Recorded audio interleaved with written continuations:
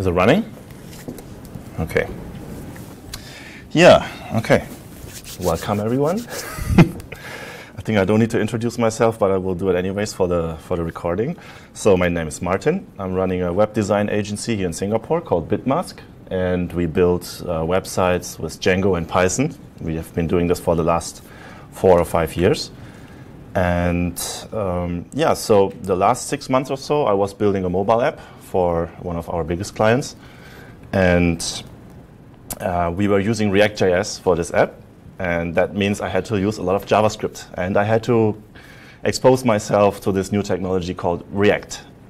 Um, and it turns out it's actually pretty great technology, and I really enjoyed doing front end development with that. But I never really understood how, I, how can I use React with Django. And um, two weeks ago, I found a blog post which described how you can do this. And I read this blog post and I tried it out myself. And after like maybe half an hour or so, I got it up and running. And I was pretty excited about it um, that I finally have a solution how I can easily start using uh, React.js for small parts of my existing websites and migrate everything over to React slowly. So, and because I wanted to share this with everyone, I created a little repository on GitHub that shows, is basically supposed to be a step-by-step guide that teaches you how you can set up Django and then how you can create your first few React components and use them in your Django application. So maybe just a quick show of hands, who has used Django before? Okay, only, only Vina. who has used and Mike and who has used React before? heard about. Uh, who has heard about Django? Oh, the movie. Oh. That's the movie. it's not going to be as bloody today. Um, yeah. Okay. The so. is a little bit. More famous. Yeah, I heard a little bit. Yeah. From the guys that are developing the product. Okay. Yeah. Okay. So that means you are like the toughest audience I could possibly have. So what we will do is we will I will show this repository and we will go I will go step by step through this uh, and try to make it pretty fast so that we can wrap up the recording. And then afterwards, when you've seen everything, so, so you don't have to follow now because uh, it will be too quick. Afterwards, uh, we will go back to step one and we will try to reproduce it on your computers. Okay? So basically, um, Django is a so-called web framework. So that means it handles uh, a lot of things for you. It can render templates, so you will write HTML and CSS. Who has written HTML and CSS? Okay, maybe half. Yeah, that's great. So you, you know how to, how to build websites. So Django basically is a framework that helps you to build websites. It, it has like batteries included, so it deals with a lot of things like dealing with cookies and authentication. Uh, it can talk to your database and do many, many things. And so that's, that's why a lot of people use it for building web applications. Um, React.js, people say like, you might have heard about the term MVC here model view controller, right? Um, who has heard about the term? Who knows what MVC means? Okay, so basically, um, when you write a complex application that um, should render stuff to the user, for example, if, if you go to a website, you see something in the browser, right? So that is basically the view. That is uh, what is being displayed to the user. Okay, that's the V. Um, in the back end, in order to see this website here, for example, there's a database somewhere on, on Earth which has all these this, this content here. Um, and um, there is going to be a controller that takes out this data from the database. And usually there's a model that is able to, to hold this data for you. And the model is going to be passed to the view, and the view will render the data okay, it's probably still very difficult to, uh, to, to, imagine, but uh, it's, it's a very famous pattern when building web applications or any, any kind of uh, GUI applications. So um, Facebook invented this software called React.js, which makes uh, the V in MVC very easy, supposedly. Unfortunately, uh, it's a it's a little bit difficult to understand. Uh, when when I mean I was using Python for maybe five years. I was using JavaScript even longer, I don't know, maybe eight or nine years. uh, mostly jQuery only, like most web developers. So I'm, I did not really write pure JavaScript, and that was my first problem uh, because jQuery spoiled me so much. I wasn't really able to read pure JavaScript, and that's was the first hurdle I had to take in order to get into the React e ecosystem. Because when you read React code, it's basically pure JavaScript. Um, yeah. So. Um, so the, the task today is to see how we can marry these two technologies, how we can build a little Django website that uses React.js components for the front end. Okay? That's, that's the big picture. Um, and we will do this by simply going through the step-by-step guide here on GitHub. I, don't, I didn't prepare any slides or anything. So basically, when you go to this repository here on GitHub, so it's my username, mbrochh, and then uh, Django React.js boilerplate, you will see a README file that tells you how you can quickly install the master branch on your computer. And then you could do uh, this command, this is from Django, manage py run server and go to, in your browser, go to localhost, and then you should see something. But this is basically the end result. Okay, that, uh, usually if you want to follow the step-by-step -step guide, you would scroll down here in the README file and click at step one. And then, um, so for those who are familiar with Git, who, know, who knows how to use Git? Okay, almost everyone. So you know that there are branches, right? Usually uh, in a normal project, everybody works on the master branch and maybe you have a development branch. But for this, I had this crazy idea that I will create one branch for each step and then make sure that people can you know, switch through the branches, which is pretty easy on GitHub, and follow the steps and compare you will build files on your disk, right? And you want to compare if your files look similar to the ones in my GitHub repository. So that's why I made it this way. So the first step is uh, simply creating a Django project. And all you need to do for that is actually one, two, these four commands. You could probably even skip the first one if you don't care about virtual environments. So pip is a software that comes with Python to install Python packages. So in the, in the Python package that we need to install is called Django. Once we have that installed, we have another command available on the terminal, which is called Django admin. And this command has a subcommand called start project, and then we give our project a name. So I just call this like Django React, DJ React. This is the name of our Django project, okay? And what this command here does is it creates a DJ React folder on your hard drive, which already has a few files inside that come that Django automatically generates for you. It's like the minimum amount of files that you need in order to run a Django project. And the last command here is not necessary really, but I like to rename the DJ React folder into Django because it's a Django project. So what you will end up with is something like this. The Django folder, which has a manage.py file and the DJ React folder. And inside of that folder, you will have the very important file settings.py. I will, I will talk about this file a lot today, so try to remember this. A URLs.py, and this file we can ignore. Um, so I explained a few other things like if you install something with pip, you should also create a requirements.txt file and put this same requirement into that file. So when you look into this file, it looks like this. There's just Django inside, the latest version. Um, that's just best practice. It's not really relevant to this project. Hmm? No, when you need to do something, I will tell you. it's after, after we stop the recording, basically. So after you ran basically these two commands here, you should be able in your terminal to do manage py run server. Oh, I already have it running actually. Yeah, you should be able to do manage py run server. And then in your browser, you can go to localhost and you will see the Django welcome website. That's basically the if you didn't do anything, this is what Django will look like. It will show your welcome screen just to tell you that uh, your, your settings, settings file is correct and that everything worked. Okay? So that's the first step, just installing Django and creating a project. Super easy. And as a second step, I basically want to create a view so that we can see like a hello world text in our browser. So this is supposed to be our old Django app, right? We, I built this because I want to enhance my old Django apps and use React.js component instead of normal Django HTML code. Okay, so in order to uh, hook up a view in Django, you need to go into the URLs.py file and you need to add this line here. And I actually added two views for demonstration purposes. So this basically says that at the URL view2 slash, we should show this template, and at no URL at all, so basically the home page, we should show this template. Okay? Uh, then you need to add a setting that tells Django where it can find the templates. And then you need to create the actual templates. So those of you who have already written HTML should be familiar with this.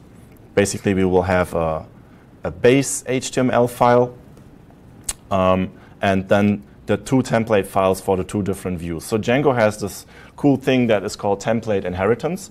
That means, I mean, usually uh, when you build an HTML site, they always need all this boilerplate code here, right? Every HTML website needs to have an HTML tag, a head tag, a body tag, and so on. And but for our views, we don't really want to repeat all this every single time. So that's why we can put this into one central file, and then the subfiles for the for each view, they will extend the central file. Okay, so that basically means uh, everything that's in between the block main here, which is just uh, a tag that says view one, should be rendered in the base HTML file in here. So this part will be replaced with this part. Okay?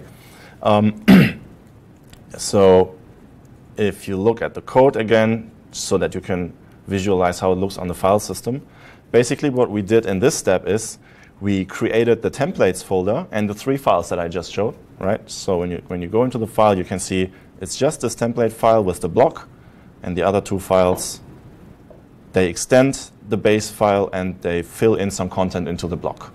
Okay? Um, and that's the step. Uh, when you did this and you run in your terminal, you run manage py run server, you will see view1, which is the thing that we put in view1.html in the file, right? Or if we go to the other URL, view2, we will see view2. Okay, so this should already, if you have never done uh, web development and you want to get into it and you thought that Django might be a good technology, this should get you excited. It's like, wow, I just have to create a few templates. I put something into the URLs.py file and I can see something in the browser, right? And from here, you could start actually writing your, making your website beautiful, add more content, and then afterwards you will get like you will ask yourself, hmm, how can I have some more dynamic stuff? How can I save something into the database and get it out of the database? So from here onwards, you will dig deeper into the Django documentation and, and learn more about Django, but which we won't do today. Um, so the next step is the one where people who want to use uh, React.js often struggle or give up. So this took me, I don't know, maybe a few weeks to get my Webpack config nice and correct and understand what's going on uh, like six months ago when I started using React.js for, for my project. Um, so. Why you need to use React.js for your project? Um, we wanted to build a mobile app, mm-hmm. and we didn't want to use AngularJS. So there's a software called Cordova that allows you to write a mobile app but use web technology.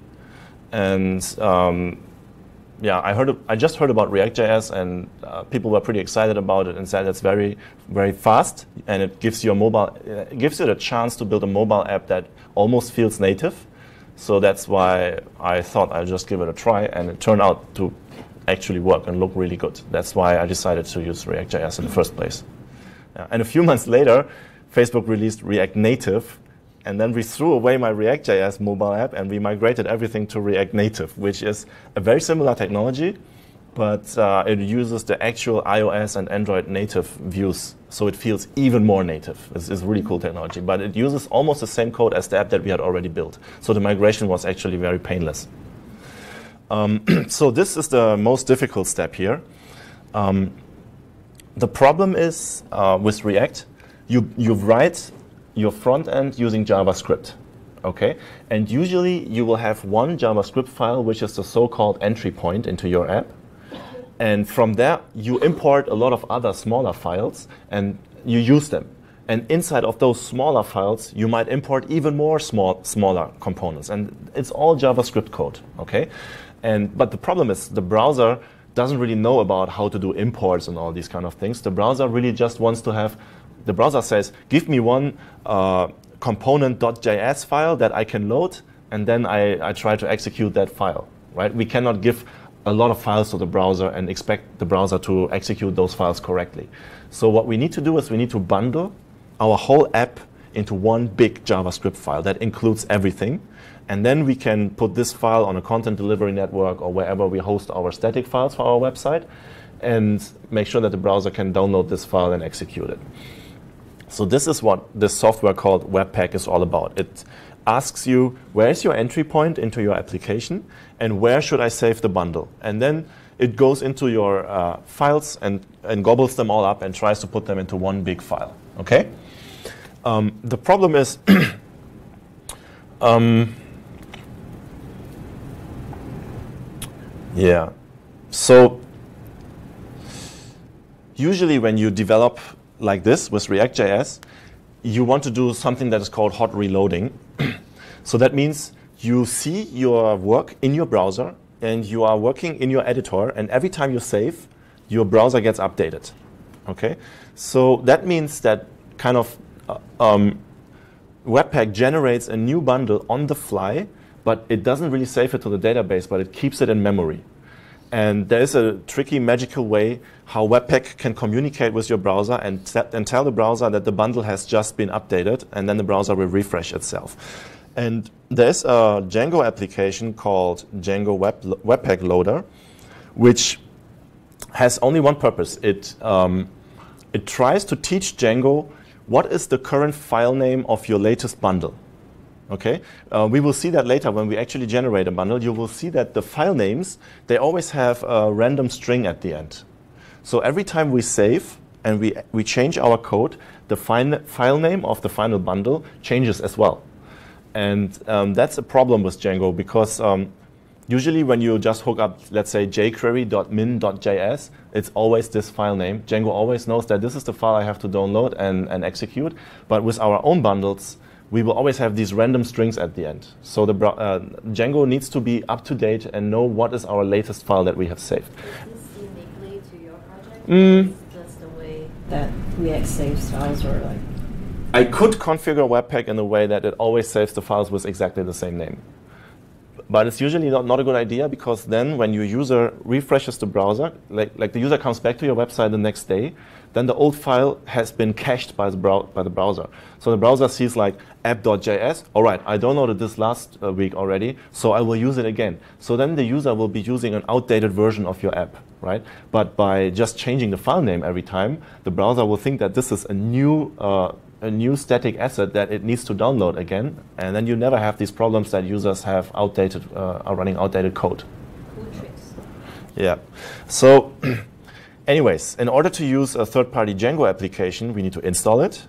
Same way like we install Django. So we run pip install Django Webpack Loader, and then most third-party Django apps are used in the same way. You add them to your settings.py file. Remember, I said this is the super important Django settings file. So we add one line to that file here. And then we add a few more lines further down the file telling uh, Django where we are saving our static assets. So static assets is like JavaScript files, CSS files, images that should be displayed on the website. These are considered static assets. Okay? The, mm, okay, and then we need this crazy, scary looking package.json file this basically is the same like the requirements.txt file that we use in Python. So it's also just a file that tells your project what kind of software needs to be installed so that this project works. And we basically just put in package names here and the version numbers that we want to have. All right? You remember when I showed you the requirements text file, it only had one line, Django equals equals 1.9.3. So that's the Django package for Python that we want to install. And here's the same. We want to install a JavaScript package called Babel, and it's this version, and a lot more JavaScript packages. So, but let's just ignore them for now. Um, so the config that we need to generate for, for Webpack is looks kind of scary at first uh, because I split it up into two files. it's going to be a base config.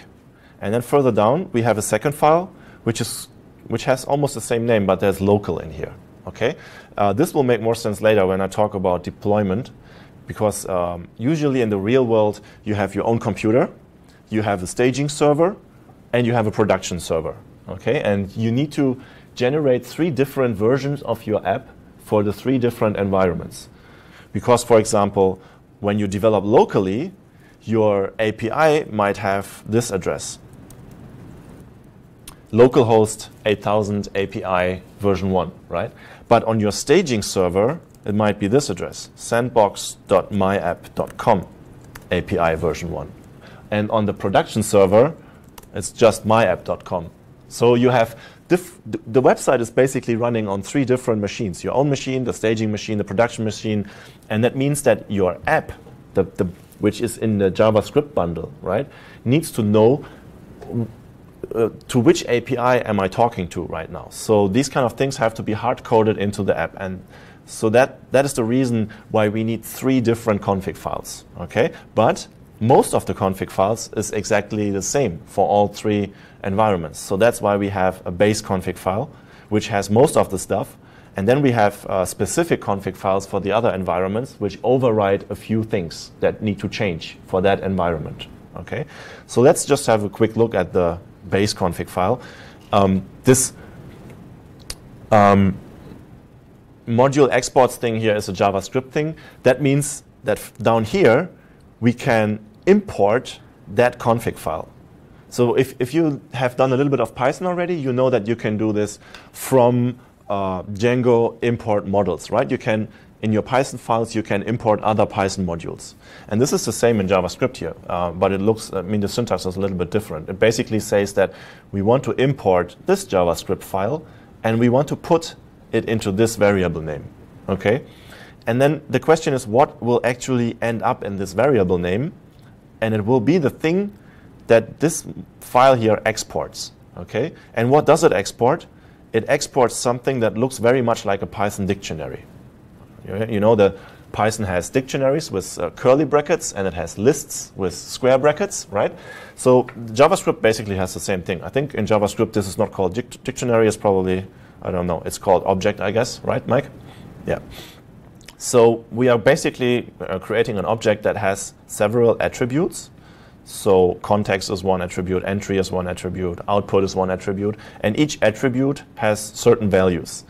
And the important one here is the entry point, right? We are telling Webpack where is the JavaScript file where my uh, React.js application begins. You will notice that there is no .js ending here. You can leave out the ending because you are free to put to name it .js or .jsx or in any way actually. So by leaving out the ending, Webpack will be able to just find the file that's called app1.anything and assume that this is your entry file. Okay? Um, we will ignore this for now. Um, and then this output path is important. So this tells Webpack where the final bundle file should be saved on your hard drive. Okay? So, um, okay, maybe I should talk about this vendors thing here. The problem is React Native is like jQuery, it's a pretty big library. It's, I don't know, maybe 180 kilobytes or even, even more. So, and um, it will never really change. As long as Facebook doesn't release a new version of React.js, this library will not change. So it would be cool if your browser can download this big library and cache it. So the next time when the user comes back, this is already in cache and doesn't need to be re-downloaded again. But the stuff that changes all the time, which is our own app, right? This should be in a different file. So by using this um, Commons Chunks plugin here, and by saying that um, React should be a different entry point, uh, Webpack will generate two bundle files. It will generate one super big bundle file that, that uh, contains React.js and everything that's related to React.js. And it will, it will, create one small bundle file which only contains our own code that we have actually written, which in comparison to React.js is tiny, right? And yeah, so that's, that's the purpose of the Commons Chunk plugin. And the, the rest we can ignore for now. Um, so that's the base config, okay? the local config um, Ah, yeah, okay. So the local config, first of all, it imports the base config into the variable name config, and then it overrides a few of the attributes. So you, up here you can see that we defined the plug plugins attribute, and it's a list of plugins, okay? So down here, we are overriding the plugins attribute, and we are adding, we are concatenating some elements to that list. So basically we are saying, in general, we want to use the, the Commons Chunk plugin, but if we are developing on our local machines, we want to add the bundle tracker plugin. All right? I will explain what the bundle tracker plugin does later. Um, so if you would run uh, Webpack now, it would probably crash and give you some syntax errors. That's because uh, there is um, a new version of JavaScript emerging called uh, ES 2015. And this has a lot of things that, um, for example, it has classes, um, it has this kind of way of importing things. So this looks, you know, this is still JavaScript down here. Here it looks much more like Python already, right? Import something from something. When you compare it to this, this is also just an import, but it looks completely different. Because this is written in the old way, and this is written in the new way.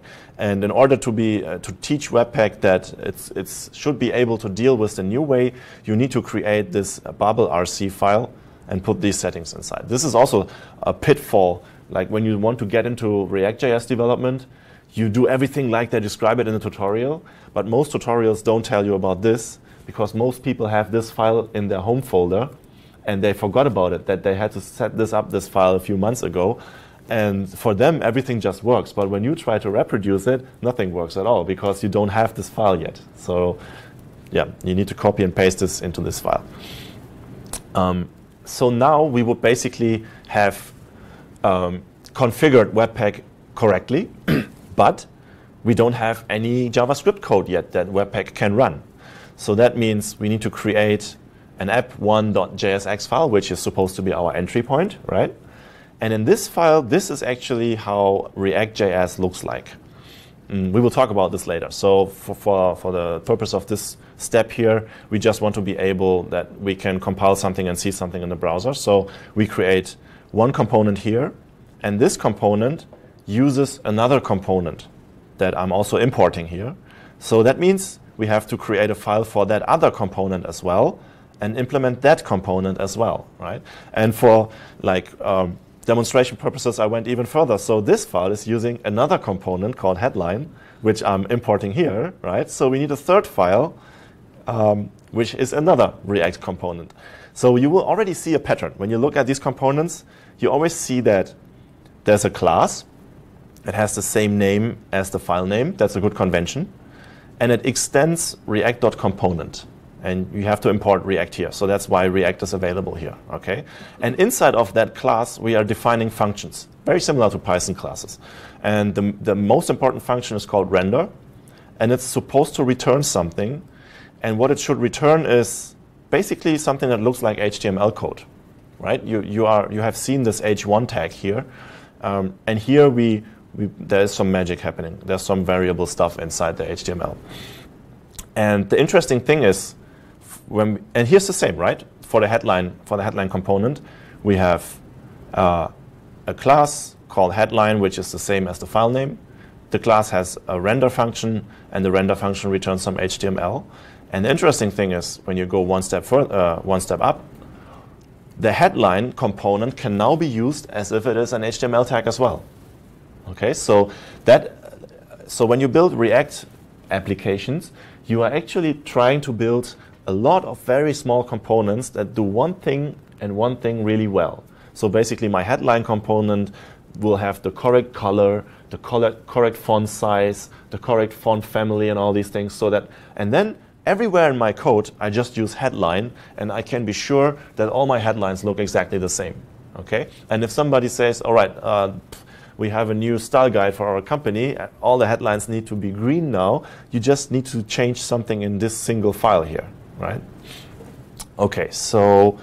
Um, just now you have the Babel RC and you mentioned the ES 215. Yeah. But you say that uh, the before code is using 2115. Correct. And the after is using 2016. Yeah.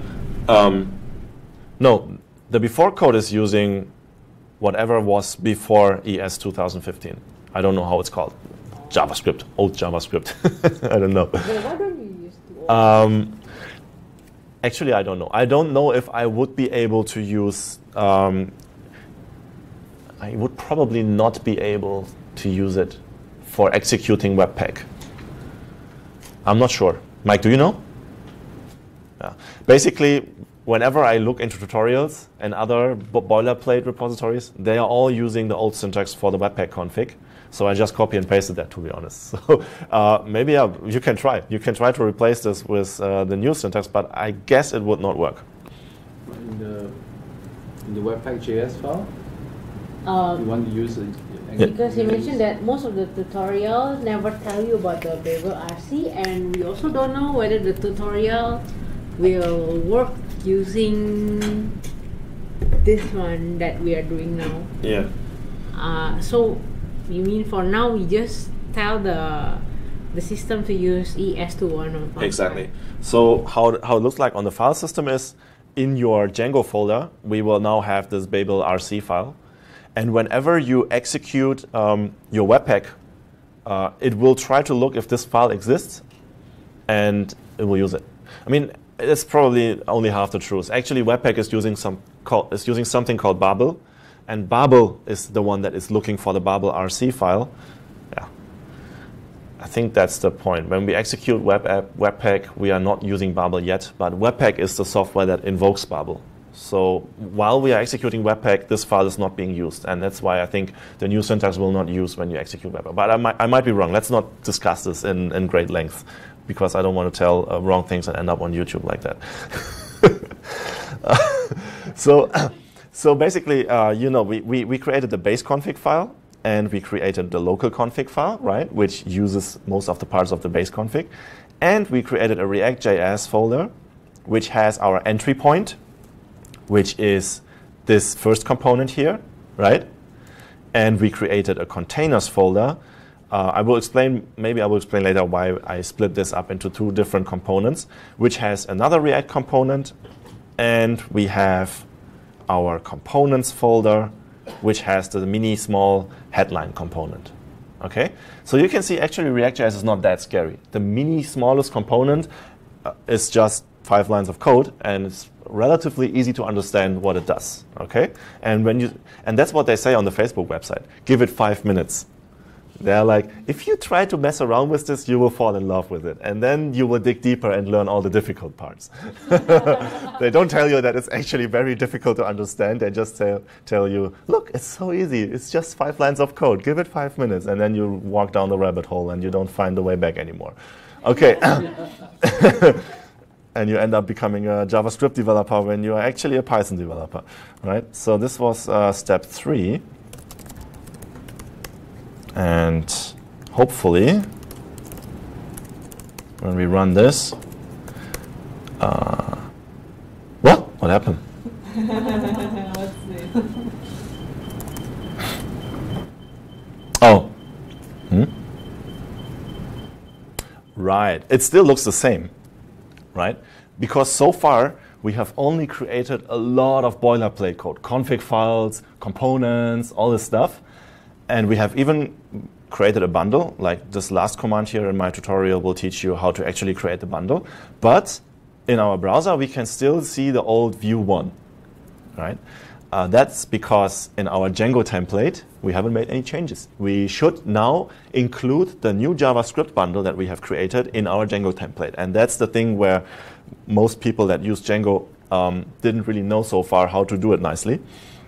So let's see how that works. Um, so if you go back to your view1.html, you remember that there was only one uh, tag here basically saying to render view 1, right? This is this view 1 here. Now we put something different here. Now we, we put an empty div container here, which an ID called app1, all right? And we, this is something specific to Django. Because we are using the web, Django Webpack Loader third-party app, which we have installed using pip before, we are now able to um, load a so-called Django template tag. And the template tag is called render bundle. And we can use this template tag to load specific JavaScript bundles with certain names. And when you remember back to, your, uh, to our Webpack config, on the, we had two entry points. The first entry point was called app1, and the second entry point was called vendors. Okay? So those are exactly the same two names that we will use here in the Django template, right? And what Webpack, Django Webpack Loader actually just does is it teaches Django which name here corresponds to which bundle file on the file system that we hopefully have generated. If we didn't generate it, then it will crash and say that the file cannot be found. Okay. Um, so basically, um, when the server returns this template, it's going to be an empty website, uh, just a white empty page, which has to load this JavaScript stuff here first. and once this stuff is loaded, then it will replace this emptiness in between the div here with our actual JavaScript uh, React components. And then we will see whatever the components output. Okay? Uh, oh yeah, there's a final thing that you need to put into your Django settings so that Webpack Loader knows in which folder the bundle files will end up and where it can find these uh, Webpack stats JSON files. So I haven't really explained what these do. Um, the thing is, every time you run Webpack, because we are using the bundle tracker plugin in our local Webpack config, it generates this file here, and the file basically only says that the app with the name app1 has its bundle file called like this, and this is the random string I was talking about. This one changes every time you, you save the file, right? And it also tells Django where this bundle can be found on the hard drive. Okay, so Django basically only loads this file, and because of that file, Django knows when I say render bundle app1, it knows which JavaScript file to import. Okay? Um, yeah, so if we do all this, and so this is step four, right? Yeah, this is step four. And we run manage py run server. And we go to the browser. Now we see something new, which is uh, the same. Let's have a look at our JavaScript components.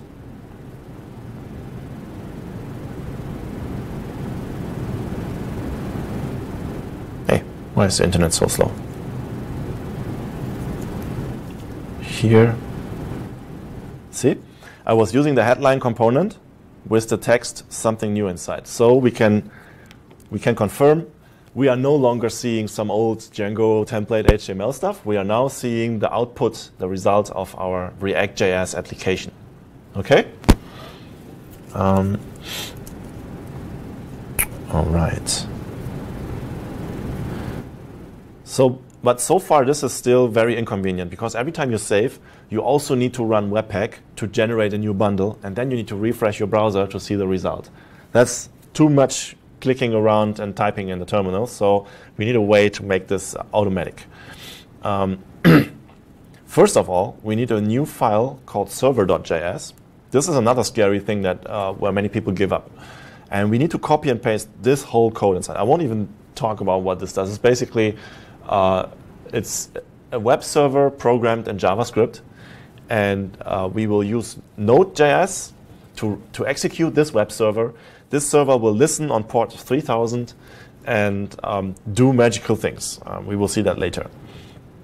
Um, and in order for this to work, we need to make a little update to our Webpack local config. And uh, so this was our entry file here. We need to add these two lines. Okay. And we need to add this line, which didn't exist before. And we need to add these two new plugins. Before we only had the bundle tracker plugin. But when we want to do Webpack, uh, when we want to do hot reloading with Webpack, we need to add these two plugins as well. So, I mean, I don't even understand what all this means. I just copy and paste this from some tutorial, try it, works, oh, oh, it's great, never touch it again, and, and don't worry about it, right? So if you have all this in place, and this is uh, step five, uh, you can do manage py run server, you can go to your website and, oh my God, I see nothing. This is because I forgot that I also need to run node server.js. So uh, when you want to develop your site now, you have to remember always to execute both servers, the Django web server and the Node web server. Okay? When you do that, now our app is rendered again. Okay? And now look at this. This is the cool thing. When we save our code, let's say we change this to um, oh my god, it works. And save, oh my god, it works. See? It saved, it changes immediately. Eh, but it's only when you change the JS. Correct. When I save, I press save now, and there's a change. Okay? So this is the hot reloading that's going on. and it's basically recreating the bundle and keeping it in memory. So Django is no, no longer looking onto the hard drive for the bundle. It's now looking to this port 3000 web server. So it's trying to fetch it from, uh, I don't know where it comes from, from memory, I guess. Um, and this is really powerful. This enables you, like if you have, for example, in your office, you have a two monitor setup, you have the website here, you have your editor here, and you code and code and code, and like creating beautiful user interfaces is really, really good with this because you can try like make it one pixel bigger, one pixel smaller, a little bit more to the left, to the right, and it's like so fast, it really encourages you to experiment and come up with new ideas and try different versions. Okay? Um, so this is a great way to build websites. Um, so, yeah, many people um, already got that, that far.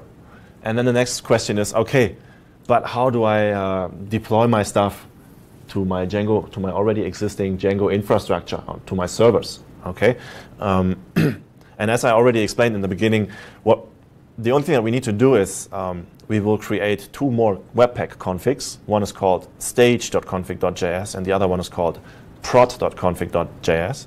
And those configs, same as the local one, they import the base config and they change a few of the, of the variables here. For example, they say that um, we will have a specific folder for our bundles, which is called bundles slash stage. And we will also have a specific folder for production bundles. And for example, um, this plugin here, the define plugin, basically allows you to set something called like something like environment variables that you can use in your JavaScript code. So this enables you to have things like if environment is production, then use this API URL. Otherwise, use that. Or if environment equals uh, local, then do some special um, debugging output that you don't really want to use if for, for, the for the real production website. All these kind of things. Or for example, I like to uh, descri describe my API-based URLs in here. So they, if I if I run Webpack with this config, all my API calls will go against this URL. If I run it with this production config, all my API calls will go against a different URL. Okay, so that means every time when we want to release a new version, so this is, this is how you call Webpack. This is the command. And then you basically say, I want to run Webpack with this config. Okay? And so that means when I made some changes to my app and I'm ready to test it, I have to create two new sets of bundles, one for the staging server and one for the production server, assuming that it's fine. And I, after I tested it on staging, I want to have the same stuff on production as well. So that is a lot of stuff to type in the terminal, right? I have to, every time I have to create these two outputs here. So that's why I use something called Fabric. It's a very powerful and helpful um, package in Python. So we will use pip install fabric and we will create a so-called fab file in our root directory and we will put this little bit of code into the fab file which basically only says that we have a fabric task, task which is called webpack and whenever we run fab webpack on the terminal it should execute these four terminal commands okay so um, maybe you have already heard about make files maybe when you uh, compile source code on, on, on Linux or whatever, you often have to deal with makefiles. So this is a similar thing like makefiles. Um, so uh, let me show this to you. When step six, okay.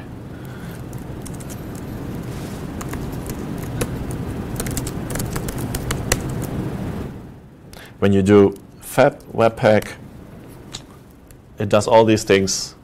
It's just one command, but it's executing four different commands. It's, it deletes the already existing bundles from your last time, and it generates two new bundles for staging and for production, and puts them in the same folder again. Okay. So when I run git status now, I can see that a lot of files have changed. Right. Some files have been deleted, and there are new files that haven't existed before, because they all have different file names. Right. That's why I want to delete them because if I only save new ones, I will I will end up having 100,000 bundle files uh, half a year from now, and yeah, no need to uh, version uh, to put them into version control, all of them. Um, so yeah, for those, this might be maybe interesting for people who watch it on YouTube uh, who know Django already. Um, my my development workflow is like this. I go into my project uh, folder. I run manage run server and node server.js so that I can see my stuff in the browser. I start coding my app. When I'm done, I commit my changes, and then I run fab webpack to generate the bundles. And usually I like to have a different commit only for the bundles. And then finally, I run my deployment script for my Django website. And that's the cool thing. That means you, you are now using React.js, but you don't really have to make any changes to your infrastructure. The, the, the way how you deploy Django stays exactly the same. However, I mean, every company does it in a slightly different way. So it doesn't interfere with that at all, right? So you only make sure that you generate your bundles, commit them into your repository, and run a normal deployment. Um, okay. I have three more steps, um, which is probably a bit difficult for you guys now, but might be interesting for the video. Um, so I try to keep this a bit faster. I won't, I don't know, should I explain everything in detail? The more I explain, the less time we will have to try it on the laptops later. so I have to find a good middle way. Anyway, so yeah, quickly. Okay, so the thing with with React components is they have something called props and state. Basically, uh, when you think about the component, uh, for example, this um, this headline component that we had, right? It's supposed to render something that has been passed into the component, uh, and um, so the component basically doesn't really know what kind of text it should render. You can put any kind of text inside and the component will render that text. So that is some information that has been given into the component from the outside. Okay? And um, um, this works for, for small components that only deal with themselves. But what if you have, for example, a button component, and when you click at that button, some kind of counter on your website should increase, and the counter is a different component. So these two components, they don't know about each other necessarily. They don't necessarily know about each other. So how does the counter know that it should increase when somebody clicks at the button, right? So we need some kind of event system. Like the button, when you click it, needs to emit some kind of event, like I have been clicked, and the counter needs some kind of event listening system. So the, when the counter will listen to I have been clicked. And when he hears, when the counter hears that event, he will increase in itself, for example. Okay. Um, so if you read about React, you will uh, quickly learn about something called Flux. That's like a way of thinking how you can manage your state in React applications. Um, and there are a lot, lot of different Flux implementations. Um, so it's basically another JavaScript library that you need to import in your project and then you need to understand the documentation of that library, and then you can use it. The question is, which one of those that exist should you use? There are like 10 different ones. Maybe, at, I mean, three months ago it was 10 different. Now it's probably 20 different. And, but thankfully, some smart person came along and invented something called Redux. And um, it's a little bit like Flux but I think it's easier to understand than Flux and less complicated. What you need to do um, in order to use Redux is first you need to create a so-called action creator. Okay, you will put that into a file, for example, called counteractions.jsx. Uh, .js. Oh, that's a typo here. I need to fix that. and basically, what we do is we create a constant which describes the name of the action. So let's let's assume there's a button. When you click that button, then the action increase should be emitted. Okay, and um, so Redux, this will make more sense later when we look at the next file. By definition, all the, the actions should have this uh, look. There should be uh, JavaScript objects, or if you think about Python, there should be dictionaries, and they should have a key called type, and the type should be some, some uh, string actually, and you know this constant here is a string. Okay, uh, so this is a bit confusing. So let's maybe let's look at the next file. Um, so what you should keep in mind is the action creators describe what kind of actions can happen. Okay? Then we need something else that's called a reducer. Um, and we will put that into a folder called reducers, and we call it counters.js, for example. The reducers always look like this. They import the action creators that belong to this reducer, and they describe how the data looks like. Usually, when you are working with a more complex database, for example, um, I don't know, mm, you have a user profile, then maybe you would have user profile here, right?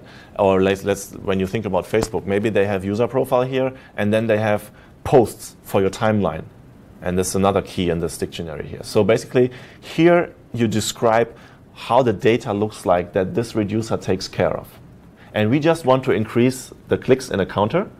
So that's why I'm only having one variable here called clicks, and I initiate it with zero. Okay. Um, and this is the actual reducer function here. It's basically just a function, any name, name doesn't matter. And into the function, we put some state, the, and at the very beginning, we put in the initial state. And um, every time when an action happens, so when this increase action here is fired, it will be put here as the action variable into the, into, re, into the reducer function. And with it, the last state will, put, will be put into the function. So you, you can think about it. Let's say, let's say we click at the button tw 20 times in a row.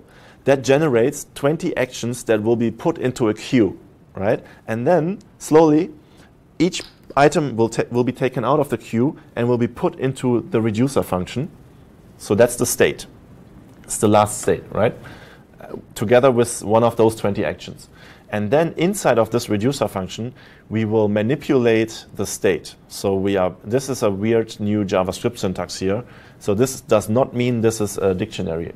Don't get confused of the, because of the um, curly brackets. This means that we are taking the old state variable and we are returning a copy of it and we are only changing the clicks attribute to something new and we are increasing it by one just try to like this is basically what this statement means. It does it does a lot of stuff in one line of code which would usually take more lines of code. That's the only reason why we use this. So it looks nicer. Um, so you can think of the reducer like old state gets we, we put the old state into the function and we return a new manipulated state a copy. We cannot manipulate the actual old state. We have to return a copy. Okay? Um, and then and in order to get Redux working, you need to remember our app app1.jsx file. It used to be a very small component, right? Now there's all this stuff here in the file. Before, the component was only using the other subcomponent. And now we have to import all this, which is uh, Redux related, and then we have to add this code. This is all for um, because your app will usually have more than just one reducer, it, it assembles all the reducers that are available and um, generates like one big store. You can think so. The store has several reducers. So remember, we only have one reducer, and the reducer is called counters, and it only counts the clicks. But if you have a really complex application, you might have a lot of different reducers. Like maybe one reducer that only deals with user profile data, one reducer that only deals with your products if it's a web shop, one reducer that only deals with I don't know uh, comments if it's a blog or whatever, right? And your app might be complex. It might have a web shop and a blog and a user profile and and so on and so on. So that's why you want to have your data. Uh, capsulated in, in small reduce, hopefully as small as possible reducer files. That's why you split it up into several files. Right? And this code basically makes sure to collect all these files and generate one big store out of it. And then it wraps this around our outermost component. And then this component is becomes more powerful. It's now listening to all the actions that are happening. And if some actions happen um, that change the data, the component will re-render itself automatically. That's kind of the idea. So um, when we go into the, uh, so this is app one is our outermost component, right? And we were loading another component here. This one needs to change a little bit. We need to import connect and put it on top of the class as a decorator. So this add symbol here means it's a decorator. And we basically just say that inside of our class, we want to be we want to have a variable called counters. So we I made up this name here, counters. I could name this in any way. And counters is the counters reducer from our store. Right? Because we I said that we we, we are assembling all the reducers and they will be in the state variable here. So we could have state.userprofile, state.products, state.whatever. In our case, we only have one state.counters. And obviously, I just keep the same name. And then inside of my React application, I can now make use of this counters variable. Okay? It's now part of the React.js properties.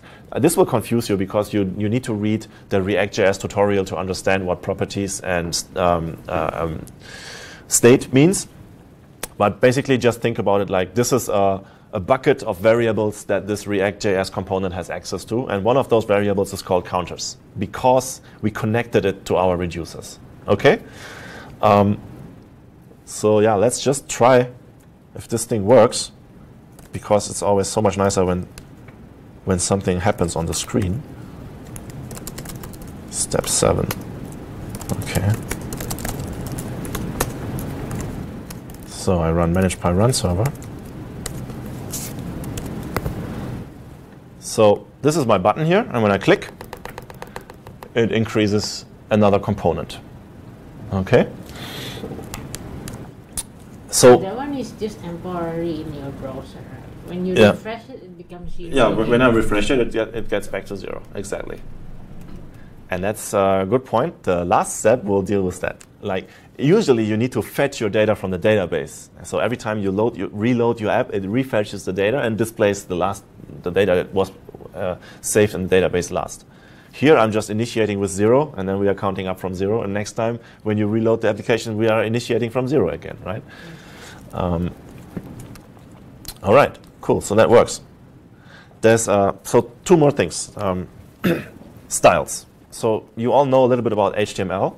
So that means you also know a little bit about CSS, probably, probably, right? Who knows about CSS? Okay, so it's almost the same people that also know about HTML.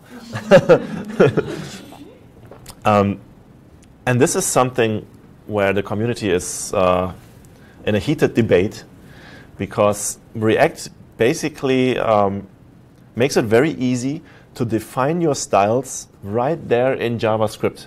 So you are no longer writing CSS files. No longer you, you will no longer have central style sheets for your application. Instead, you can put your styles as a JavaScript object right next to the component that's being styled. And this is really powerful because um, I'm, I don't know, maybe I'm a very bad web designer, but every single project that I have ever done ended up having a 3,000 lines style sheet that nobody dares to touch. Like you are usually only adding more stuff to the style sheet because you are scared to delete anything because you never know when your site has uh, like your website has 300 pages and sub pages and whatever you never know if i delete this will suddenly something on my website look ugly? I better don't touch it. I mean, obviously, um, there are people that are only writing CSS and they are very good at it and they know how to maintain their uh, CSS files properly. But usually, um, most of the teams I've worked with, they they just accepted the fact that the CSS file is a huge, you know, a huge mess. Um, and you don't have this problem here anymore. If if you wonder, hmm, can I change this color to red? Then you will just check where is it used. So this is the style called counter, and then it's being used here. So you look at this component here, and you know it's a relatively small component, and they are usually always pretty small. And it's a relatively small chunk of Java uh, CSS code. So you can, the, a developer, even a developer who doesn't know the whole system, who has just joined your team and he has the task to fix this one component, the developer will probably be able to make a good decision if it's safe to change this to red or not, right? So that means you will have, you will actually have only uh, CSS code in your app that really matters and no dead CSS code that nobody uses anymore, okay? Um, but the syntax are different. yeah, the syntax is different. So you cannot use uh, dashes in here. Usually it's font dash size, text dash decoration, and all these things. You have to use camel case, so-called camel case. So you start with a small uh, letter, and then after, when there used to be a dash here, this letter has to be capital. Okay. Um, so and and there's another uh, library called Radium. Actually, there are a lot a lot of different libraries for the React JS ecosystem that help you writing styles right there in JavaScript. And I just happened to stumble upon Radium when I needed it, and I stick to it. So I don't know if it's the best one, but for me, it does everything that I need. And so you just need to import Radium, and then you need to put another decorator around your class here, and that's all. Then you can use style equals, and this is some weird uh, new JSX syntax from Facebook. So you are saying that the style attribute is going to be a variable. So that's why we put the curly brackets here. And the variable is supposed to be an array. That's why there are square brackets. And the first element of the array is the counter style. And then the counter style is here. All right? So we can even put comma separated more than just one style. And they will override each other. So that way you can write a little bit more modular code. Um, yeah.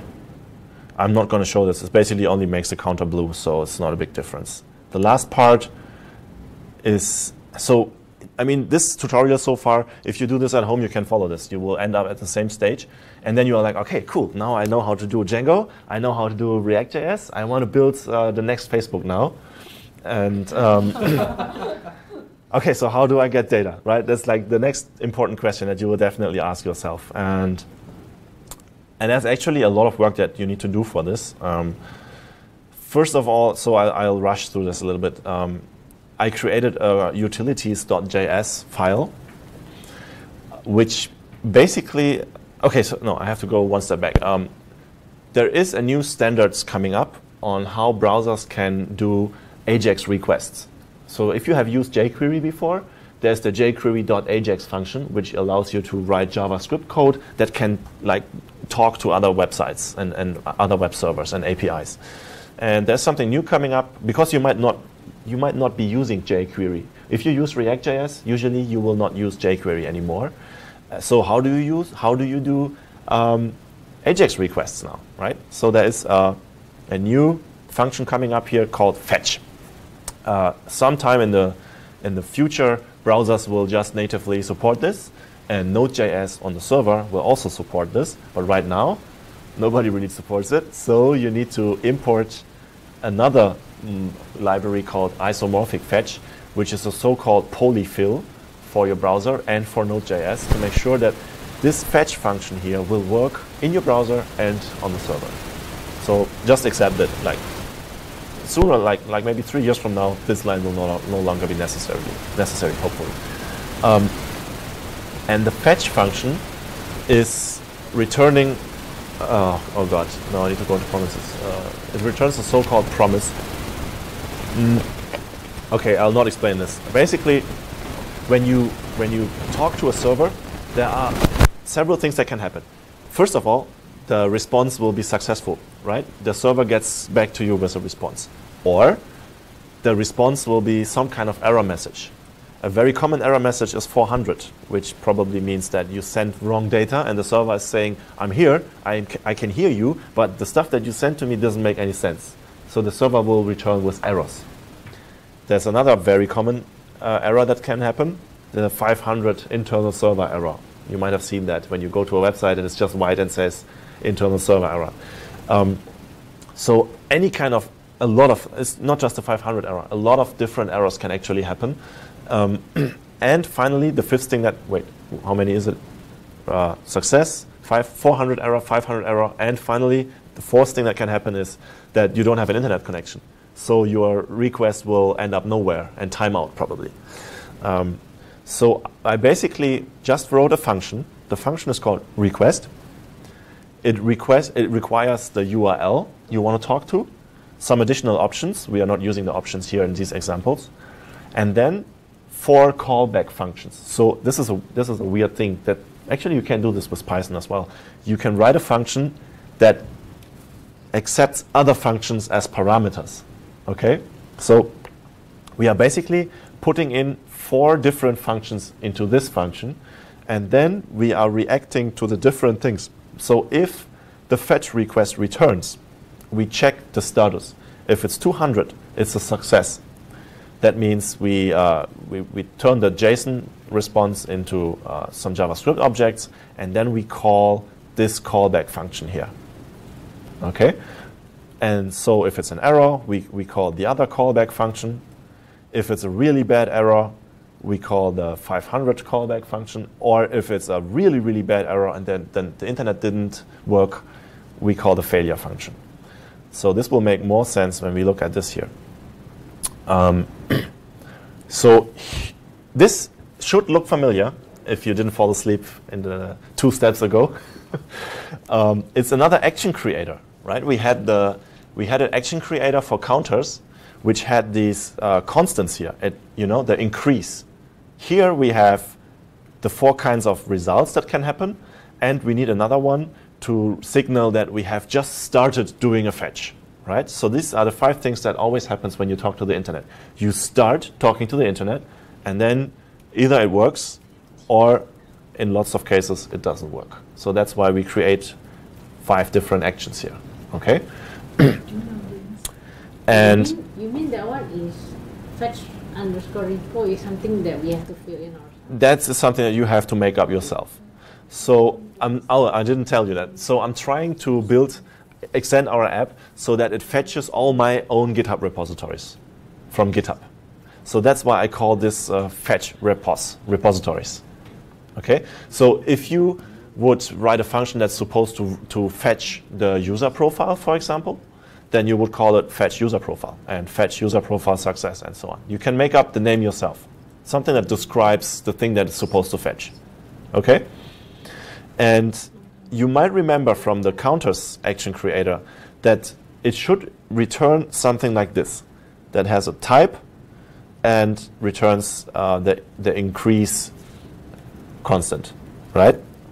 There's a second way that we can do. Um, we can re return a function instead that needs to have the dispatch parameter. This is really difficult to explain. Um, even when I look at this, and I have used this like 100,000 times now, I still have, hard, have a hard time wrapping my head around this. Um, so basically, this basically tells Redux that we are trying to do an action here that um, takes a lot of time because we don't know when the result will come back to us, right? When you talk to the internet, you don't know how long it takes for the server to respond. So this is, so, is a so-called asynchronous action that's happening here. Sherry's giving up, huh? don't give up, Sherry. almost there. It's the last step, and almost at the end of the slide. Um, all right, so um,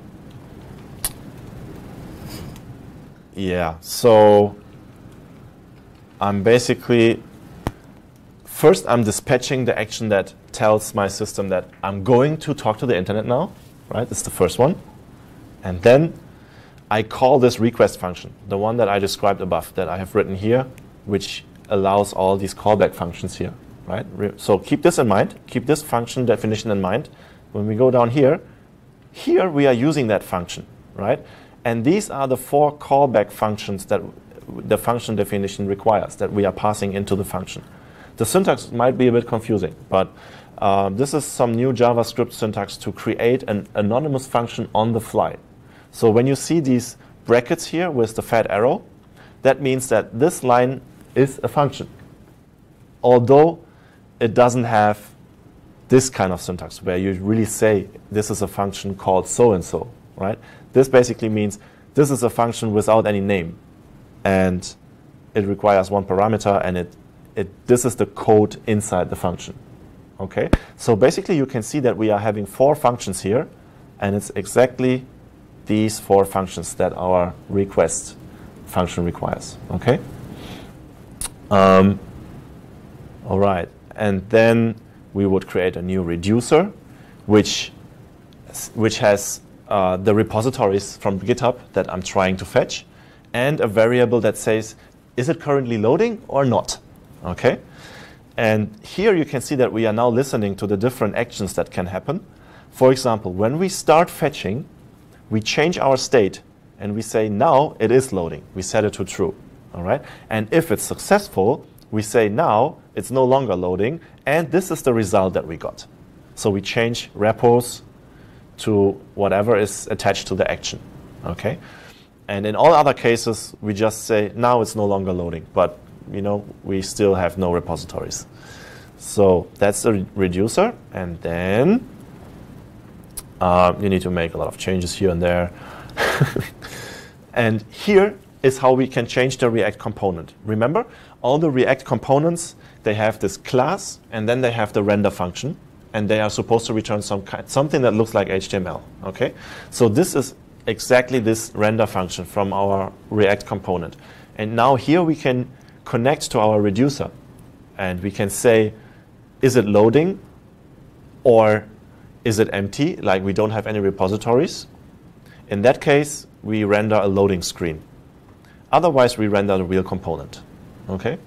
And then, um, th- but you can dig through this if you do this at home. I created another component which takes care of uh, showing all the different repositories that we fetch from the internet. And this component looks like this. Um, it's basically using for each to iterate over each component and then render just a div with the component name. Right? So, I mean, this is uh, too complex to describe now, and, and, and, we need to get to, to finish to wrap up this talk. So, this is something, if you look at this at home, you will, you will probably understand it after a while, if you stare at it long enough. Um, but let's just see what it does. That's so, more, so much more interesting. So, step, last step, manage run server. Saw that? It shows loading. And then when GitHub responds with my repositories, it's showing all my GitHub repositories. It's the, this is the same that you can see when you go to my GitHub profile here or here. Whoop. Repositories. Hey, repositories. And see, these are my repositories here. And we are now fetching them because GitHub actually has an API. You can go to api.github.com. Um, I forgot the name. It's probably users. Oh, yeah. And then the username and then repos. And it will return this lot here, which is a so called JSON string. And here it is like Chantweep is one of my repositories. It has this ID, and this is the full name, blah, blah, blah. And there's a few, a few extra information about this repository. So, see, Chantweep also shows up here in our React application. All right. Yeah, so.